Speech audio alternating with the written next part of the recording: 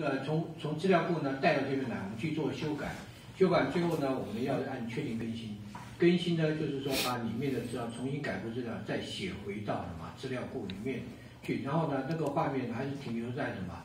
是啊，在那个去做呢，就 admin 的啊，更新完，你把资料呢说要更新，我们就 edit，edit 就是做更新。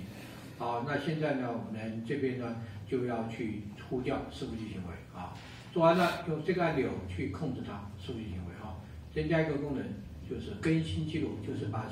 你有改过的东西，就再写回到资料库去。嗯。好，这就是更新记录。封万。好，它一定会去找到封万，所以呢，你不选也没关系，它自然就知道这个表格里面一定呢有一个呢就叫封万这个地方啊。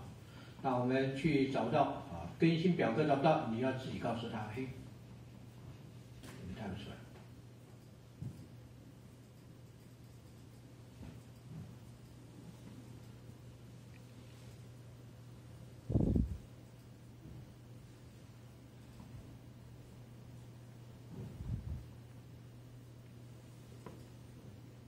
封好，看看看一下这个更新记录。